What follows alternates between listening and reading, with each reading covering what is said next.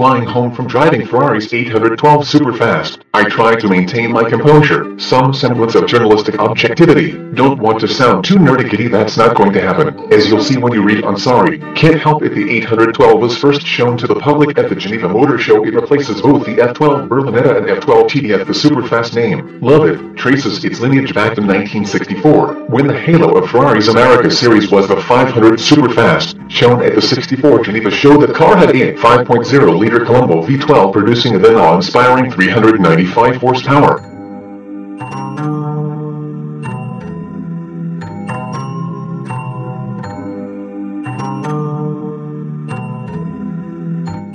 This latest Superfast has a mid-front mounted 6.5-liter, normally aspirated V12, helping celebrate the marque's first V12 70 years ago, developing a gobsmacking 800 horsepower and 530 pounds FT of torque. What's that mean? It means the 812 is, you guessed it, super fast. 62 miles per hour arrives in just 2.9 seconds, according to Ferrari. Adding the top speed is more than 211 miles per hour. Yeesh, the company also says those numbers make this $308,000 rocket the most powerful, fastest road-going Ferrari ever. Well, with the exception of some of its mid-engine 12s more 812 tidbits from Ferrari, 75% of the car is new.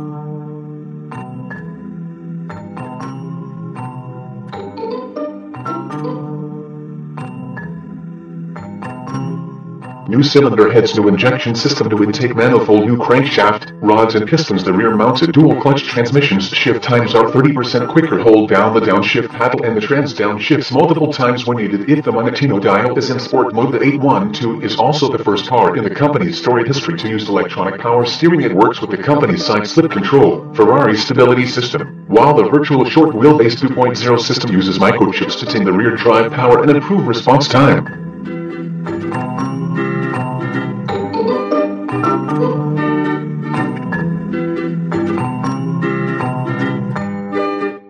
Combining the electronic steering with SSC means the 812 lets you know, with steering wheel torque, when you're about to overcook it if oversteer starts happening. The system can give the wheel inputs to help realign the car. Ferrari says,